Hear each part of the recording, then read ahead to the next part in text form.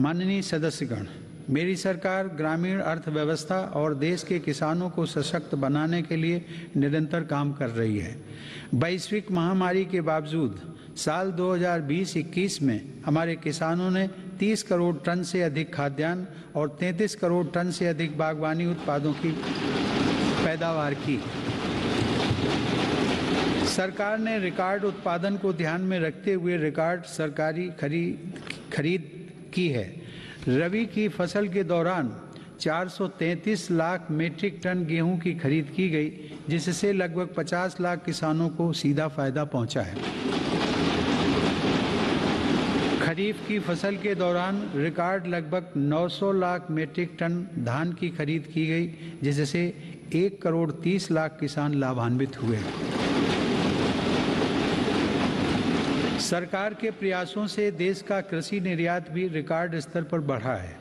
वर्ष 2020-21 में कृषि निर्यात में 25 प्रतिशत से अधिक की वृद्धि दर्ज की गई। यह निर्यात लगभग तीन लाख करोड़ रुपए पहुँच गया है। हार्टिकल्चर और शहद उत्पादन भी किसानों के लिए आमदनी के नए स्रोतों और बाज़ार तक उनकी बढ़ती पहुँच के महत्वपूर्ण माध्यम हैं। शहद उत्पादन को प्रोत्साहन देने से वर्ष 2020-21 में देश का शहद उत्पादन एक लाख पच्चीस हज़ार मीट्रिक टन तक पहुँच गया है, जो कि 2014-15 की तुलना में करीब 55 प्रतिशत ज़्यादा है। 2014-15 की तुलना में शहद की निर्यात मात्रा में भी 102 प्रतिशत से ज़्यादा की वृद्धि दर्ज की गई है। किसानों को को उनकी फ़सल के अधिक दाम मिले, इसके लिए उनके उत्पादों का सही बाज़ार तक पहुँचना ज़रूरी होता है। इस दिशा में सरकार ने किसान रेल सेवा शुरू करते हुए किसानों के लिए खुशहाली के नए रास्ते खोलने का काम किया है।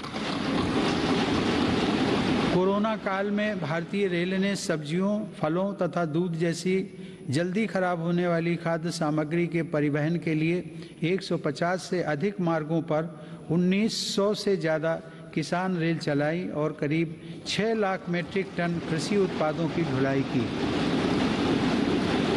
यह इस बात का उदाहरण है कि अगर सोच नई हो तो पुराने संसाधनों से भी नए रास्ते बनाए जा सकते हैं। माननीय सदस्यगण, कृषि क्षेत्र में देश की सतत सफलता और बढ़ते सामर्थ्य का सबसे बड़ा श्रेय मैं देश के छोटे किसानों को देना चाहता हूँ। देश के देश के 80 प्रतिशत किसान छोटे किसान ही हैं, जिनके हितों को मेरी सरकार ने हमेशा केंद्र में रखा है। प्रधानमंत्री किसान सम्मान निधि के माध्यम से 11 करोड़ से अधिक किसान परिवारों को एक लाख अस्सी हज़ार करोड़ रुपए दिए गए इस निवेश से कृषि क्षेत्र में आज बड़े बदलाव दिखाई दे रहे हैं। फ़सल बीमा योजना में नए बदलावों का लाभ भी देश के छोटे किसानों को हुआ है। इन बदलावों के बाद से अब तक 8 करोड़ से अधिक किसानों को मुआवजा के तौर पर एक लाख करोड़ रुपए से ज़्यादा की राशि दी जा चुकी है। खेतों के नज़दीक ज़रूरी इंफ्रास्ट्रक्चर को विकसित करने के लिए भी मेरी सरकार अभूतपूर्व स्तर पर निवेश कर रही है। एक लाख करोड़ रुपए के कृषि इंफ्रास्ट्रक्चर फंड के अंतर्गत हज़ारों परियोजनाओं को मंजूरी दी गई है। मेरी सरकार ने खाद्य तेल में आत्मनिर्भरता को ध्यान में रखते हुए ग्यारह हज़ार करोड़ रुपए की लागत से national mission on edible oils, oil palm की शुरुआत भी की है। सरकार ऑर्गेनिक खेती, प्राकृतिक खेती और क्रॉप डाइवर्सिफिकेशन जैसे विशेष प्रयास भी कर रही है। यह आप सभी की जानकारी में है कि संयुक्त राष्ट्र ने वर्ष 2023 को इंटरनेशनल ईयर ऑफ़ मिलेट्स के रूप में घोषित किया है।